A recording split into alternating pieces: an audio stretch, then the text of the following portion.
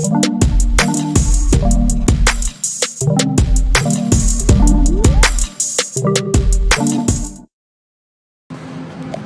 I'm back here at this job again um, from the previous video I made uh, last Wednesday. Um, now, so what had happened, so this is just following. I'll actually link the other video below, so if you're just seeing this one, you can see what's going on. But I was here the other day, spent like a couple of hours here. They gave us a CPI number instead of a channel pair. Anyway, so the customers said, look, we've got the right channel pair. Um, come, you know, you can come back because Telstra came here, then basically said, oh, there's a problem with the building, and then they left. Right? I even tagged it for them here. There was no problem with the building. Right? So I tagged it. All I need to do is jump, run a jump into the channel pair. Now, when I come here today, um, they gave me two channel pairs, right? Two different channel pairs they text, they emailed the customer. Now, the channel pairs, as you can see, they start with this and then go to here with DSL and then blah, blah, blah, right? They didn't actually give me any pairs. The two different channel pairs they gave me weren't even matching. There was anything here on these blocks, right? Any of them, right? Nothing. nothing. The, the numbers, once it got to uh, 04, it just was all some other weird string of things with letters and numbers and all sorts of stuff, right?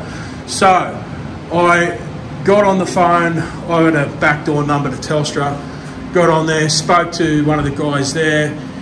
He wasn't, he was very helpful, but he wasn't that educated. He even know what a channel pair was or an MDF. So trying to work with him, and then they went to some, I don't know what they call them there we used to call them level twos. They call them a shmoo or something. I don't know what they call them. But he was had to relay it back to them.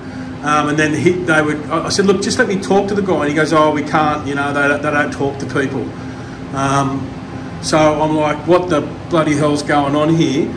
Uh, so I have literally been on the phone for three hours. Three hours trying to get this sorted out, right?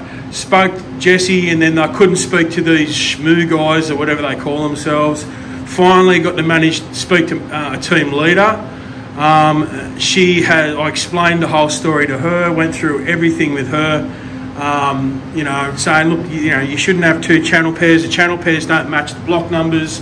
Um, well, the block numbers they gave me didn't match the block numbers here.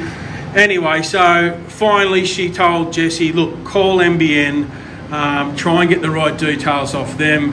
And then so he spoke to, he had to hang up from our call, spoke to NBN, then finally came back and said, uh, yeah, NBN's not taking responsibility for this. They don't know what's going on, right? And said, this is a Telstra issue. So, you know, it's clearly got NBN Co written on these. Um, so apparently these are Telstra blocks, not NBN blocks, but they're NBN, right? So I'm, I've literally been here four hours, right? Four hours to bloody run a jumper cable. Now, this is just beyond ridiculous. So I took meticulous notes, time-stamped everything, um, and this video is just basically to follow up because I've got a sneaky suspicion when, like the technician that from Telstra came in here last time, he just shook his head and went, I don't know what's going on, and he's just left, right? And said it was a problem with the building. I've got a sneaky suspicion the same thing is going to happen again. So um, I've already spoke to the Telstra complaints department. Um, they've said they're going to reimburse this customer for all my time here today and for the extra time I spent. And I've also made them say that they're going to reimburse me for any reports that I need to write on this because I spent an hour and a half of my own time here last time writing reports and uploading that video and doing all sorts of stuff to get this customer out of trouble. So, again, we are back to square one. So I've finally managed um, to get Telstra to send out a technician tomorrow morning between 8 and 12. Um, they said they were only going to tag it here, test and tag, um, but I've basically pleaded with them just to, you know, run the bloody cable from my jumper here. You know, it's, it's labelled you know, it, it, shouldn't be that hard. Um, so, if again I've got a I've got a feeling this is not over yet. Um, I think there's some sort of weird thing going on in Telstra's system um, or NBN system. I don't know, but I just didn't want to leave this customer in the lurch. Um, so I basically spent half a day here just trying to work this out for them.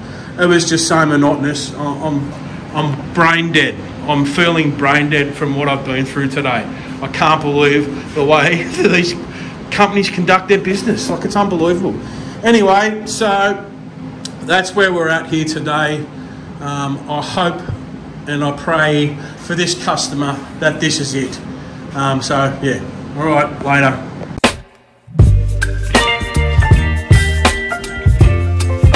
Hey guys, it's uh, Jason here from Secure A Com. So if you're in need of some internet help, um, whether that is uh, getting a fault fixed up like a bridge tap or you have some sort of an issue on your NBN service, or maybe you need to have some new cabling and sockets installed, um, we provide a range of services to help you out. There'll be some links underneath this video um, and you can click on those links and I'll take you through to our website where you can book my service. All right, thank you very much. Goodbye.